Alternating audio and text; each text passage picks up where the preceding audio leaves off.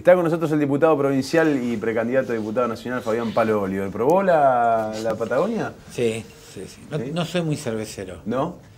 No, pero me gusta la cerveza, pero tengo divertículos. Y Ah, lo peor claro. que puede haber Claro, claro. es la... La cebada. Cerveza. Sí, en realidad, sí, me gusta. Los divertículos es eh, consecuencia de, de ocho años de intendente. Bueno, está bien. Y no, Eh, no podés comer frutilla tampoco, seguramente. No, nada que sean legumbres, Claro. frutilla. Pero cuidándome ando bien, ¿eh? y de vez en cuando una cervecita, pero. No, igual, tomo, pero puedo tomar un vaso, nada más. O sea, que entera no me la podría terminar. ¿Consecuencias de la intendencia de los divertículos? Sí, Sí, los sí. nervios, Sí, sí, son... el estrés. Generalmente es nervioso y sí. sí. Y tiene que haber una predisposición, obviamente, orgánica, pero bueno, acá estamos. ¿Te descansó salir de, de la gestión como intendente? Sí, obvio. Sí, sí, son otro tipo de, de presiones, de preocupaciones. Si bien, bueno, uno en la función de, de diputado eh, también, por lo menos yo en lo personal, busco de, de honrar eh, y bueno, y de ganarme el sueldo, eh, poniendo horas de laburo, viajando. El, el tipo de presión es otra. Igualmente, la gestión que me gusta es mucho más la ejecutiva que, Claro. que la legislativa, ¿no? Pero bueno, tampoco... Tenés más herramientas quizá al alcance, ¿no? Para... Sí, uno se siente más realizado generalmente porque tiene más posibilidades de, de mejorar la calidad de vida del ciudadano, que en definitiva uno hace política para eso. Pero bueno, también, no- como siempre digo, no me arrepiento de la decisión que hemos tomado porque queremos eh, de esto hacer eh, también una, una forma de militancia, ¿no? una sola reelección para todos los cargos y, y hasta que eso pueda estar consagrado en la, en la Constitución, está bueno que, que lo pongamos en práctica y que, que lo militemos. ¿no? ¿Eso quiere decir que no volverías a ser intendente de San Romeo? O, o si después de pasar un periodo? Trataría que no, me gustaría no volver a hacerlo. Eh, pero bueno, uno plantea la, una sola reelección eh, con, con la posibilidad de que no, no haya continuidad, obviamente, ¿no? como, como el tema del presidente. Eh, pero en lo personal me gustaría no ser nuevamente intendente, pero a ver, por una cuestión de que estoy convencido que está bueno renovar y, y dar lugar a, a los más jóvenes, ¿no? Porque uno ya no es tan joven y, y- y la forma de renovar las organizaciones políticas y la política es esa, ¿no? Como diputado, en todo caso, si puedo, tendré una reelección, si es que el grupo lo decide, lo evalúa y no más que, que ocho años, ¿no? Eso es por lo menos lo que nosotros tenemos como, como objetivo, trabajar y, lo ponemos en práctica con, con todos nuestros militantes que están en funciones. ¿Cómo viene la campaña? Acompañás a María Eugenia Smuck la verdad que muy contento, estamos felices de poder presentar esta, esta alternativa. Eh, primero estoy orgulloso de acompañar a María Eugenia Smuth, realmente la conozco hace mucho tiempo, pero más allá de que se ha convertido en la segunda electora más importante de la ciudad de Rosario en la última elección. El Frente Progresista ganó la ciudad de Rosario para intendente con 120.000 votos y María Eugenia reunió casi 50.000 votos, 48.500 votos, es decir que aportó prácticamente 40% de lo que logró el Frente. ¿no? Eh, realmente eh, Mónica Fey no hubiese tenido su reelección y el Frente no hubiese tenido posibilidad de, tener un cuatro años más de gestión si no hubiese sido por su aporte. Así que estoy muy orgulloso porque sé lo que ella representa, es una militante que fue dirigente estudiantil, es licenciada en ciencia política y bueno, trabaja cuestiones muy sensibles, ¿no? Toda la, cuestión de política de género, no solamente que está en la multisectorial de mujeres que trabaja por la ley de paridad y por eso nuestra, nuestra lista tiene paridad de género, paridad política, el 50% de los integrantes son mujeres y el 50% somos hombres, sino que aparte, bueno, trabaja todo lo que tiene que ver con, con la trata eh, de, personas, con la violencia, eh, tiene, es miembro de, de distintas redes a nivel nacional, eh, así que bueno, es un, como te, les decía, un orgullo. Y después, bueno, decidimos eh, armar esta lista con absoluta legitimidad a partir de que no hemos sido consultados por los compañeros del Partido Socialista, no hemos sido convocados a discutir ni, ni la estrategia electoral ni la oferta electoral. Ahí creo que nace nuestra legitimidad política, creo que el Frente está cometiendo un error, ustedes saben, yo lo vengo planteando hace tiempo, no por esta cuestión electoral, y eso tiene que ver con la hegemonización de las, de las decisiones. Los compañeros del Partido Socialista toman las decisiones junto con un sector del radicalismo eh, y generalmente se excluye a las minorías. Nosotros somos una expresión minoritaria, siempre lo hemos dicho, así nos presentamos, y el hecho de que no hayamos sido invitados a discutir eh, creo que es la demostración más clara que, el Frente Progresista necesita renovarse en las prácticas políticas, porque también hay que decir que en lo que es la cuestión eh, ideológica o la cuestión netamente más política eh, hay mucho más coincidencia que, diferencia.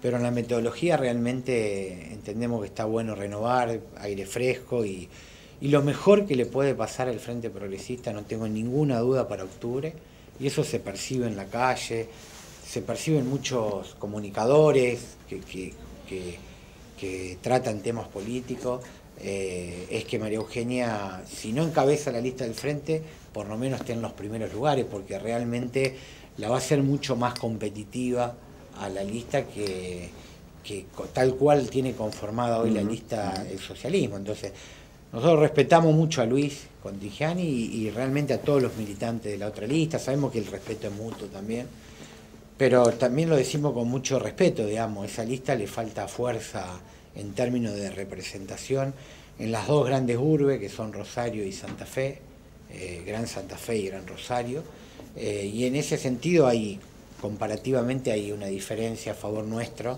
en nuestra lista. La lista eh, que armó el socialismo tiene en ese sentido una, debilidad importante.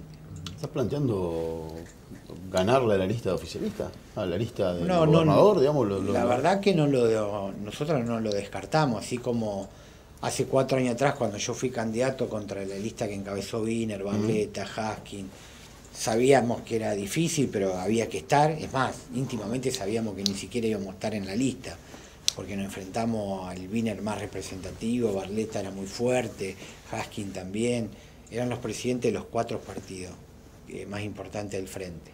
No, no digo más importantes, los más eh, mayoritarios. Afiliados, mayoritarios. Eh, ahora te digo que sí, se puede ganar. Obviamente que es difícil enfrentar eh, al aparato del Estado, porque la lista oficial prácticamente es el aparato del Estado. ¿no? Entonces, en eso hay una diferencia muy grande de recursos económicos para poder llevar adelante una campaña, eh, pero se le puede ganar sin ningún tipo de duda, se le puede ganar y, para eso estamos trabajando, nos fue muy bien en la recorrida, eh, por, porque, bueno, por esto que estamos planteando, pero también porque tenemos una agenda legislativa bastante interesante. Te, pregunto algunos temas puntuales que muy probablemente si te toca ocupar un lugar a vos o a tu compañera de, fórmula sean temas que se debatan en, el Congreso de la Nación. Se habla de la baja, aumentar la edad para, poder jubilarse, se habla claramente de una reforma laboral eh, en, línea a lo que hizo Brasil. Hoy el ministro de Trabajo dijo los trabajadores tienen que ceder algunos derechos. Eh, dos temas que están ahí en el, tapete a, tratarse en el Congreso de la Nación. ¿Qué, posición tiene? todo tiene que tener un porqué. Nosotros para ir a la Cámara de Diputados tenemos un porqué y ese porqué obviamente tiene que ser producto de la discusión. Entonces, en primer lugar, nosotros no, nos negamos a discutir eh, ningún tema que, el Gobierno Nacional entienda que, es eh, necesario, prioritario, o cualquiera de los bloques legislativos. Eh, ahora, hay temas que para nosotros, eh, no digo que sean dogma, pero sí eh, tenemos posiciones que no necesitamos revisar. En materia laboral, nosotros no, van, no vamos a estar acompañando una flexibilización laboral que significa recorte de derechos de los trabajadores y mucho menos que afecte el bolsillo de los trabajadores, porque aparte sabemos que eso va en contra de, la, dinámica que tiene que tener la economía. Creo que el peor error que está cometiendo el gobierno nacional es enfriar la economía con los índices inflacionarios que tenemos. Se anuncia para julio el 2%, producto del incremento del combustible los primeros días del mes de julio. Eh, así que en, en, ese lugar nosotros no vamos a estar. Sí estamos dispuestos a discutir y creemos que eso es lo que el gobierno nacional no está dispuesto, de qué forma se bajan los costos fijos para disminuir la, carga tributaria y fiscal que tienen los sectores genuinos, que, generan eh, trabajo genuino. Eh, ¿Cómo hacemos para, que las medianas y pequeñas empresas eh, y la industria paguen menos impuestos? definir qué tipo de impuestos tienen que pagar. En el país, en la región, somos el país que más paga el impuesto valor agregado, el 21% del IVA. Se amagó muchas veces a disminuirlo y sin embargo nunca se tomó esa, esa decisión. Y creo que, todos partimos de la base que, el Estado no se debe desfinanciar, pero lo que hay que discutir, quién deben pagar impuestos, qué tipo de impuestos y a quién tenemos que proteger. Bueno, nosotros entendemos que a quién hay que proteger a los sectores asalariados, porque aparte en la base de la pirámide, mayoritariamente en nuestro país la gente cobra menos de 15 mil pesos. Sí, sí. Entonces ahí es, lo ahí es donde hay que proteger.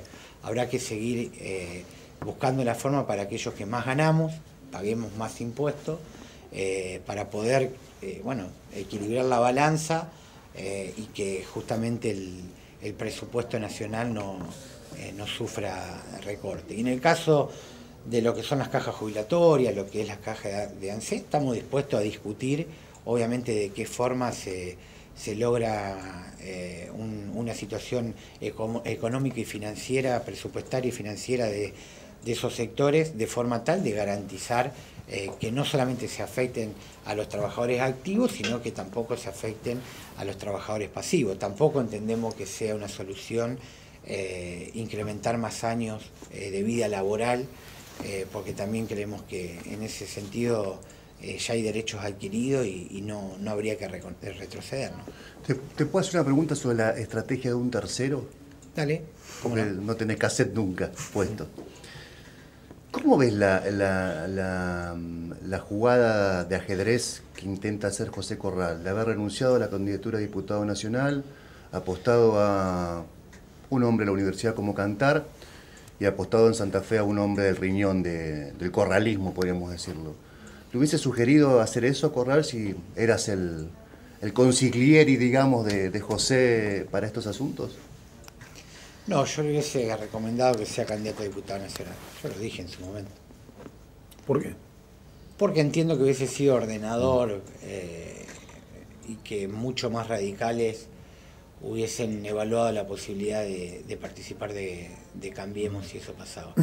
Porque, a ver, yo, y esto obviamente que es muy difícil dar nombre, ¿no? Pero eh, hay muchos radicales que decidieron estar en el Frente Progresista Cívico y Social, pero que ven con muy buenos ojos las políticas que se llevan adelante del Gobierno Nacional. Mm.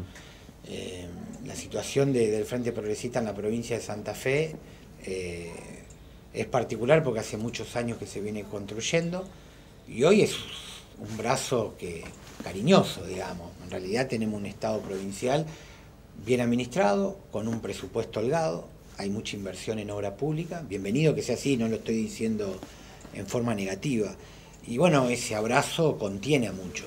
O sea, hay muchos presidentes comunales, intendentes, que entienden que tienen que estar en el frente porque el gobierno provincial los abraza, les da, les da muchas obras, hay asistencia y respuesta, pero eso no significa que muchos no crean que el Frente Progresista en algunos aspectos, en algunas prácticas, esté agotado. Y creo que la demostración es eh, clara. Eh, Miguel Lichi tiene una gran aceptación en la mayoría de los santafesinos, es una gestión que se la ve activa, que hay gestión, eso aparece en todas las encuestas, yo te puedo hablar de encuestas de 10 o 15 lugares que hacemos nosotros donde tenemos listas de, correligionarios, compañeros nuestros, y el gobierno provincial, eh, la gestión está muy bien calificada, considerada, Lichi está muy bien considerada, sin embargo, cuando se mide, nosotros decimos la escudería, cuando se mide si votaría el candidato de Cambiemos, Frente Progresista, Cambiemos está muy por arriba del Frente Progresista, ah, muy por arriba. Y eso es porque hay que renovar la, práctica política y porque también es cierto que después de muchos años, eh, muchas veces no se revisan. Se cree que lo que funcionaba hace ocho años atrás o seis años atrás sigue funcionando. Entonces digo, lo de Corral hubiese sido en ese aspecto eh, ordenador. Como también digo que si el radicalismo no logra unificar un criterio común para el año 2019 y no se hacen esfuerzos para eh, acordar con los compañeros del socialismo y los demás partidos, hay mucho riesgo que, que se pierda la provincia y que la gane el peronismo. Yo eso no tengo ninguna duda. Esa es la mayor. El tema es que el peronismo lo gane, después es otra discusión. Mm. ¿Vos crees que hay posibilidades de que, de que el sector del radicalismo que hoy compite por fuera del frente, digo, los radicales de la universidad y demás, vuelvan de alguna manera a integrarse junto con el resto del frente? ¿Crees que eso puede pasar? Después de las elecciones te lo contesto.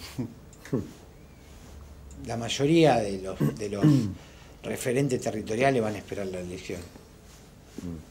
Si a Corral le va muy bien, se lo va a ver con otros ojos. Estoy hablando como un analista político más que como un político. Si a Corral le va bien, muchos lo van a ver, va a ser rubio de ojos verdes. Eh, y si no le va bien, van a mirar para otro lado. Eso, lamentablemente en la política pragmática pasa eso. Eh, y eso es, digamos, parte de la desconfiguración de, los partidos políticos, ¿no? Esa, la respuesta de por qué hay tanta confusión, no en el radicalismo. A ver, en el radicalismo una parte está en el Frente Progresista, otra parte está en Cambiemos.